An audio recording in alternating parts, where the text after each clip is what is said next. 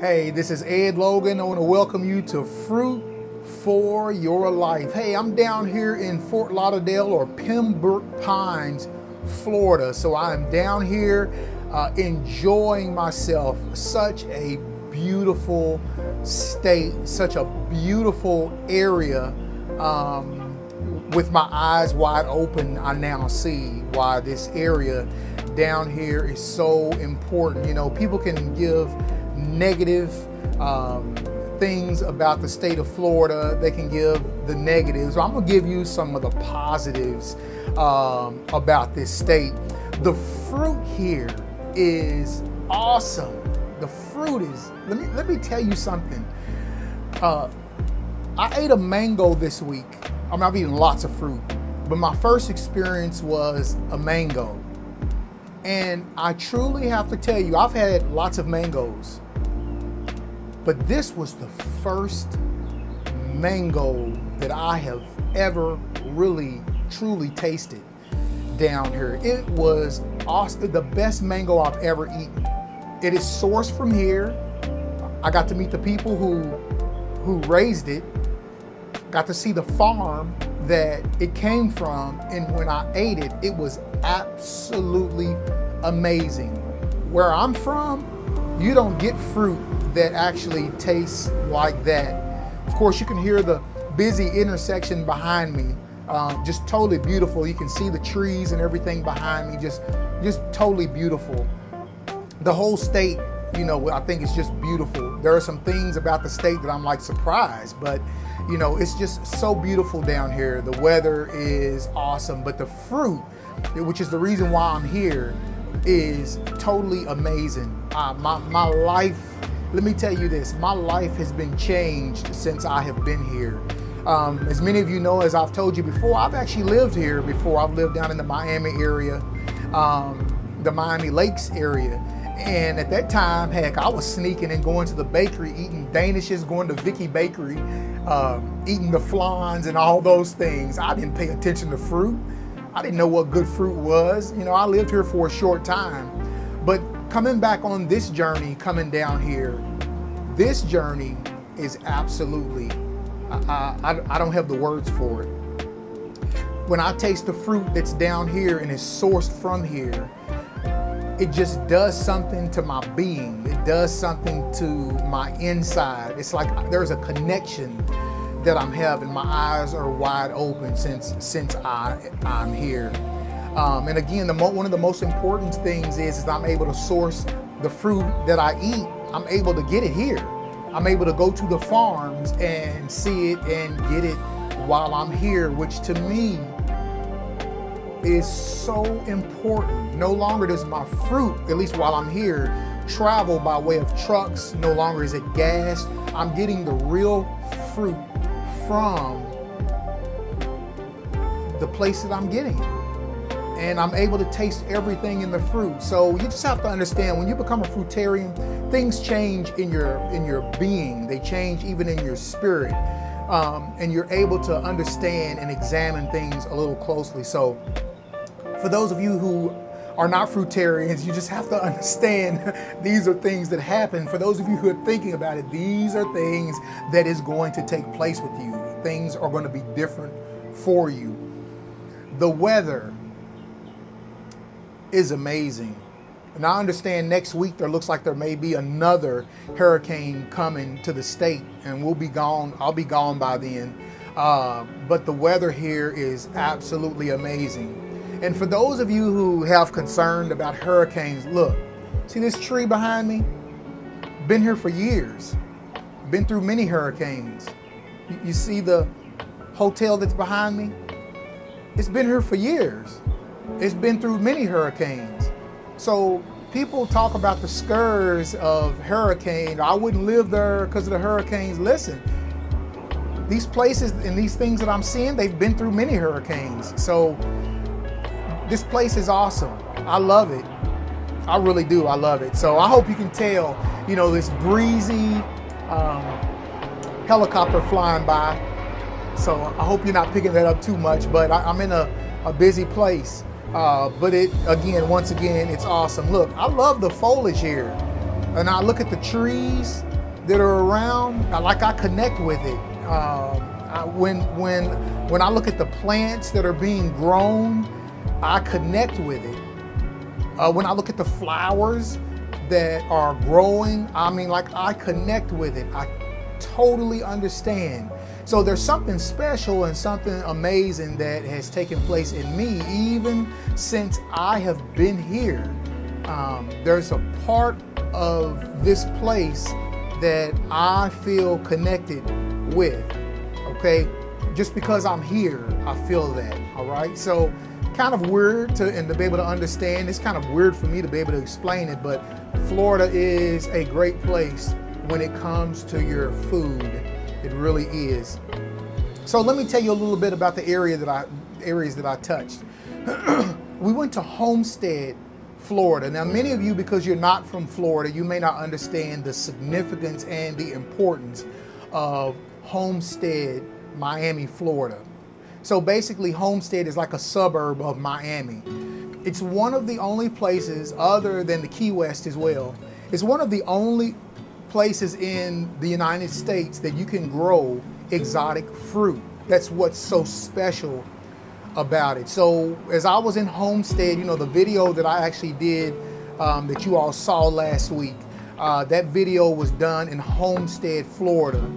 Uh, the Robert is Here video, that's in Homestead, Florida. Okay, so that's where a lot of produce, um, that's where a lot of most of the exotic fruit that is grown in the United States comes from there. So I was able to go down through there. I was able to experience all of the fruit farms that are in the area. Absolutely amazing. This place supplies America with so much fruit. And only in this area can you grow a lot of that fruit, or it's going to travel internationally. So, you know, when it travels internationally, it's going to be gassed, it's going to be refrigerated. It's, you know, it's not going to be the same quality fruit that you ordinarily would get if you were here sourcing your food. So to me, that's very important is to be able to source your food from where you live. So I was able to go through the area. I mean, we drove for miles. Fruit farm after fruit farm after fruit farm after fruit farm. I mean, I was like a I was like a kid in a candy store looking at these places. Also, where you the fruit trees, you could go and buy fruit trees. If I had driven here, I would be taking fruit trees back to Kentucky with me. Um, even though I know I would have to keep them inside because of the weather, I was I was willing to do it. But of course, I flew down, so I'm not able to do that. But it's just amazing to me how um, you know, pomegranate trees, uh, custard apple or uh, cherimoyas trees are here, avocado trees, fig trees, all of these trees of exotic fruits are, are right here. And you can get that fruit from here. And I, it just, man, y'all, it connects with me. I can't explain it to you it, there's an excitement that comes with it. There's an excitement that's in my being, being here where I can grow those particular things, where I can buy those particular things, where I can source. It's a, it's a source of buying the, the most nutritious food available is right here in this area. So again, that excites me. Um, and I love that. It's, it's, it's beautiful being here. Uh, again, this area here, for those of you who don't know about zones, so you're only able to grow tropical fruits in particular zones. So Florida is the only place in the United States that has an 11. An 11 zone is down at the Key West area. Okay, so you can grow pretty much whatever tropical fruit you want to grow in Key West because it is in zone 11. So when you come up a little bit into South Florida, then you have, you move into zone 10B. So 10B is right next to 11A. All right, so you can still grow whatever fruit trees that you would like to grow in this area. All right, so then right above that, you move into 10A. It's not as hot, but it's only a couple of degrees of temperature. But you can still grow whatever exotic fruit that you want to grow in that area. So you're going to be looking from Key West all the way up to Lake Okeechobee. That is the prime area of growing fruit. All right, so you can pretty much grow what you want to grow. So you can grow your coconut trees, you can grow your um, olive trees, you, you can grow whatever you want to grow in these areas except for citrus because they need kind of like a cold spell uh, for those, they need a chill factor in order to be able to grow those things. So peaches won't grow that well down there, but above Lake Okeechobee, peaches will be great. Oranges are great. So anyway, this is the place to grow the fruit. And I think that's why I'm so connected with this area down here is because I know that it's it's like a it's almost like let me tell you, it's like a part of my body now because I'm eating fruit and it's a part of my body, there is a connection that I have here in this area which is able to produce what I eat, which is able to carry that the same energy of what I eat in this area. That's what draws me. I'm gonna be honest with you. It's it's not the people.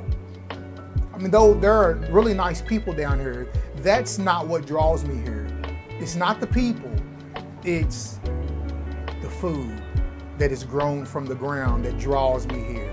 So it's been a beautiful experience. So every time that I've ever come to Florida and stayed in Florida, whether I did a vacation or whether I was here uh, living here for ministry work, it was, I didn't have that connection that I have now with Florida. So, but I have that connection now because of food. So, it, my whole experience my whole outlook on my life in Florida is totally changed. Uh, so just really think about those things. You know, if you're becoming a fruitarian, think about traveling and visiting places where you can take food back with you. I really wish that I could have taken a suitcase full of food back with me. I really wanted to do that, but you know, there's just reasons as to why I couldn't do that and why I wasn't willing to do that. But while I'm here, having a great time, having an awesome time, uh, thank you all for uh, just allowing me to be able to come down here and unwind. I, uh, I, I, did take a little bit of break from from um, Facebook and from YouTube while I was here, though I did put up a couple of videos. I still was able to just get my mind off and just think you know, for myself, for my own personal reasons and things like that. But hey, I've enjoyed myself here. I love it. Um, I, we're going to be flying back out. I'm sad that I have to leave this area from the fruit from which the gr- the ground actually produces the fruit that I eat.